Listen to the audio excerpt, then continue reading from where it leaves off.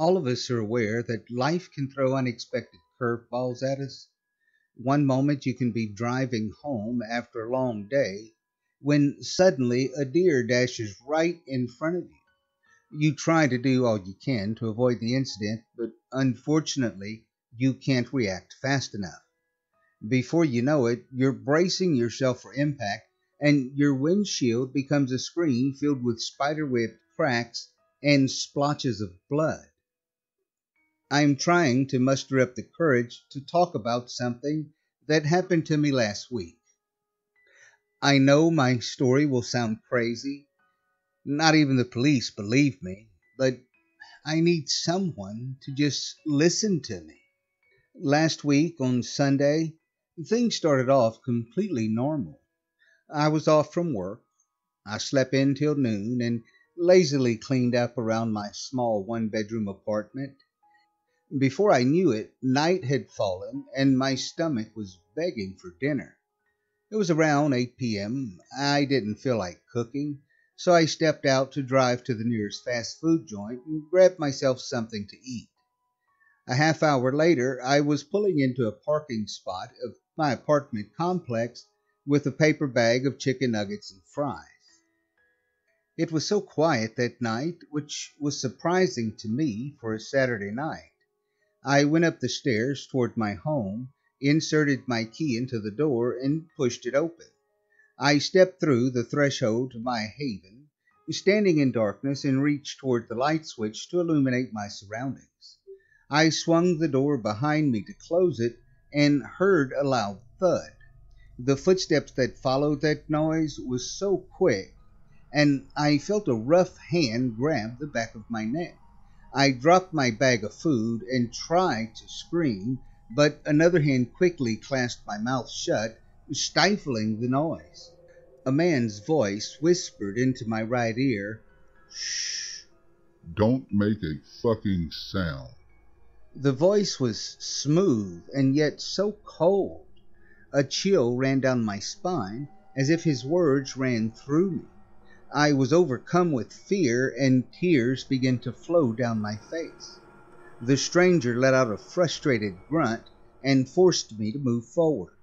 I heard the door slam behind me, and we stood there in the darkness of my home.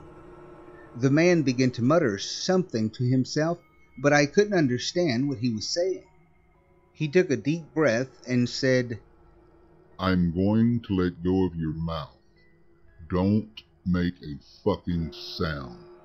The man squeezed the back of my neck and I resisted making a whimper at the pain.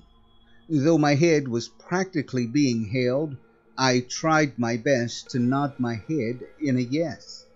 He removed his hand from over my mouth. As I squeezed my eyes to hold back the tears, I just couldn't believe what was happening. At that moment, my mind began to think of all the things this man could do. Please, sir, Take whatever you want. Just please don't. Before I could finish my plea, my body was suddenly slammed to the floor. I was flat on the ground, and my body was hit with white hot pain. The man had such a tight grip on my neck, and I was completely helpless to his strength. I said no noise, he whispered in a pained voice. I just lay there, motionless waiting for him to crush my neck or rob me, kill me, maybe something worse. He let out a groan. It was so low that it sounded like an animal in pain. He hissed, followed by the sound of him sniffing the air. The man let go of the back of my neck, and I heard him shuffling at my side. It was pitch black in my apartment, and I couldn't see anything, but I could hear my assailant tear at the bag that had my dinner. He began to shuffle away towards the wall. I could hear him shoveling the food into his mouth, and he chewed loudly. The distorted noise that echoed throughout the room did not sound like it came from a human.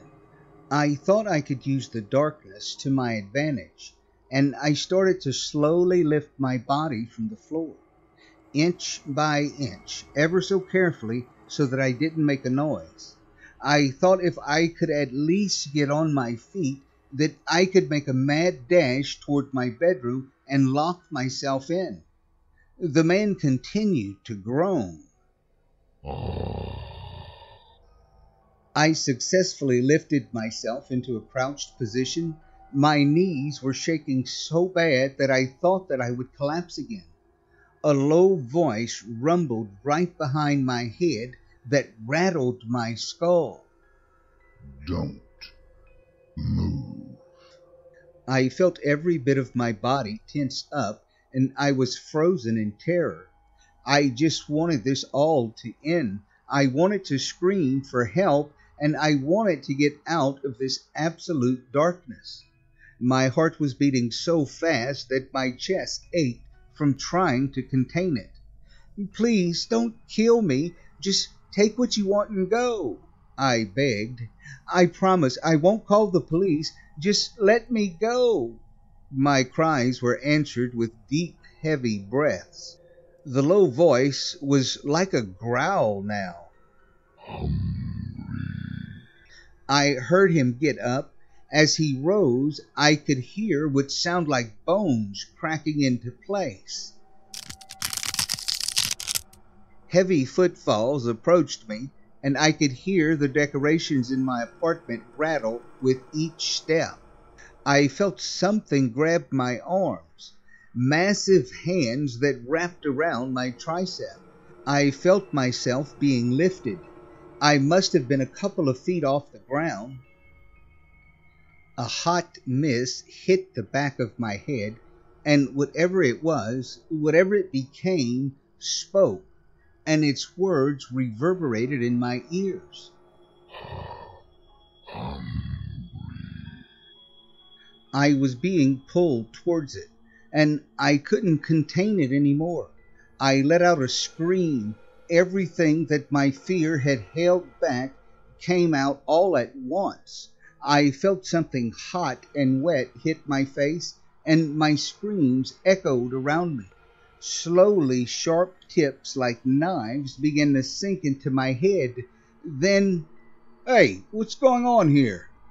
A man's voice shouted from my front door, and the sharp blades that were closing in on my skull had lifted. I felt a rush of warm blood pour out of me, and my body dropped onto the floor. I looked towards the door to see a silhouette of a short, middle aged man.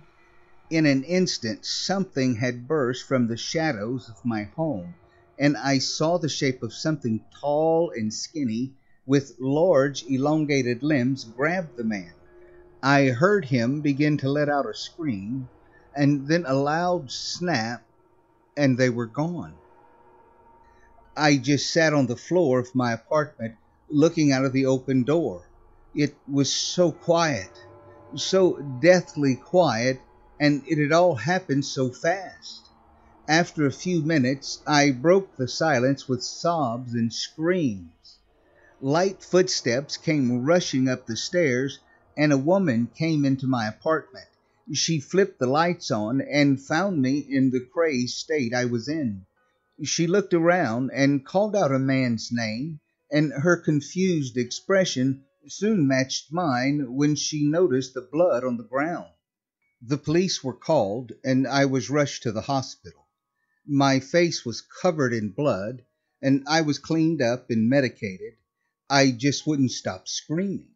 A couple of days later, police officers came to ask me what happened, and I told them what I could at that time. All I could tell them was what had happened to me in those long 15 minutes. Later on, I heard what the lady who had come into my apartment told them. It was late at night, and they heard loud noises coming from the apartment above them. They had ignored the noises at first until they heard me scream, and the lady's husband rushed upstairs to see what was wrong. A couple of minutes later, the woman heard my screams and was worried about her husband.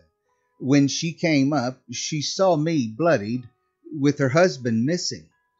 It's been a week and still no trace of her husband, and I'm still recovering from that night. The police still think I'm crazy, but they see the bruises on my neck and the teeth marks around my head. The woman is frantically looking for any information on what had happened, but all I know is that there is something out there and it's hungry.